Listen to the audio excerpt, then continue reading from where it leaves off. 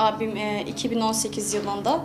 2018'de e, Haziran ayında e, kimlik GBT sorgusunda e, Cizre yolu üzerinde e, kimlik GBT'siyle işte e, GBT'den sonra işte cezan onaylanmış dendi kendisine. E, ceza onaylandığı için e, seni direkt e, cezaevine götüreceğiz dendi zaten. Direkt cezaevine götürdüler. E, Mardin cezaevinde kaldı.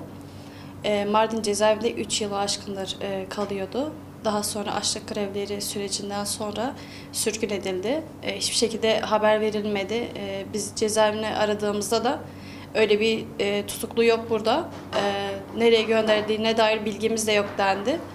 E, ta ki e, Ahlat e, TTV cezaevine gittiğini öğrendik. Oradaki cezaevinde iki haftaya aşkın hiçbir şekilde haber almadık. E, oradaki cezaevine ulaştığında da e, bize ulaştı kendisi. Oraya sürgün edildiğini belirtti. Daha sonra Ahlat Tertibi cezaevinde e, birçok disiplin suçlamasıyla hücrede kaldı. E, telefon görüşleri yasaklandı. E, arkadaşlar görüş e, görüşe çıkmadı bir süre.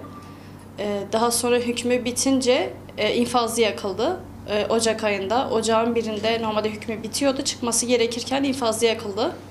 E, iki kere dört ay olmak üzere ertelendi. E, sonrasında Ağustos 24'te çıkması gerekiyorken e, e, hiçbir şekilde kuruluğa dahi çıkarılmadan direkt bir dilekçe gönderdiler cezaevine, koğuşuna. Hiçbir sebep gerekçe belirtilmeden e, cezasının tekrar 3 ay ertelendiğini belirttiler. Yani şu anda da hukuki süreçleri başlattık, dilekçe veriyoruz fakat hiçbir şekilde olumlu bir dönüş alamıyoruz. Hiçbir şekilde yani olumsuz dahi cevap dahi gelmiyor. Öyle bekletilmiş durumda yani. De zaten e, verilen disiplin suçları hücre cezası hepsi keyfi bir muamele. Hiçbir gerekçe gösterilmiyor. E, abim dahil olmak üzere birçok tutsak arkadaşın zaten infazı yakılmakta. E, hiçbir gerekçe göstermeden tamamen hepsi hukuksuz ve keyfi bir şekildedir. Yani bu aileleri çok e, kötü bir şekilde yıpratmakta.